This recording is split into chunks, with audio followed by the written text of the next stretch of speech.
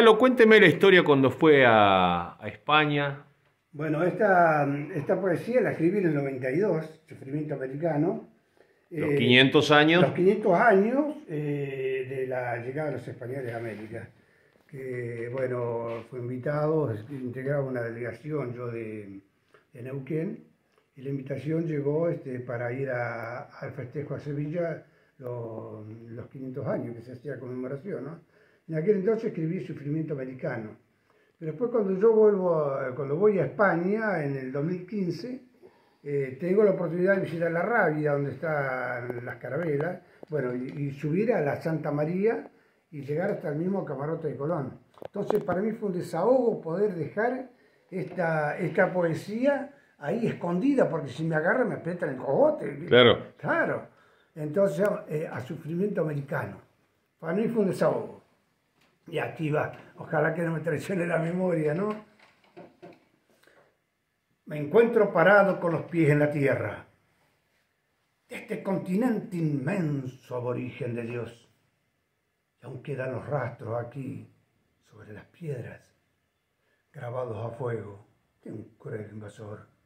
Corrió un viento helado por Chile y Bolivia, por México azteca y también Ecuador y allá, allá los peruanos sintieron su frío y en una Argentina sopló con fervor. Zarparon los barcos repletos de gente, con los habitantes no tuvieron piedad, tiraron sus lanzas a las aguas bravías, hoy descansan perdidas en el fondo del mar. Quedaron mirando su tierra lejana. También sus hermanos, que no han de encontrar, se sintieron esclavos de una mano más fuerte y de una corona con oro de acá. Hasta fueron trofeos de aquella cruzada, de huesos, piel, carne humana, que junto a unos cofres llenos de metal recibió una reina con firme mirada y partieron flotas para depredar.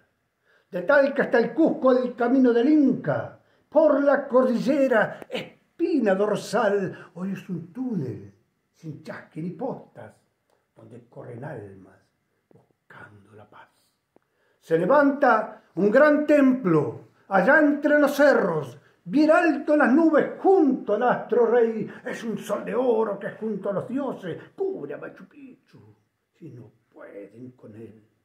No sé de qué vienen a hablarnos ahora de un descubrimiento tan cruel sin piedad. Aquí había una raza con su propia cultura en un mes de octubre empezó a lagrimear.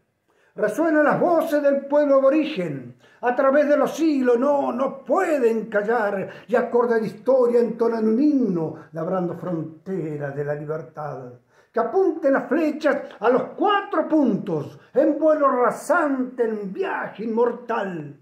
Cruzarán los pueblos, si leggen apronte, no tienen frontera, no, no van a matar, y será una bandera con muchos colores, de mil minerales y un grito animal, será como el vuelo de mil golondrinas y sus alas América, gritando. Jamás.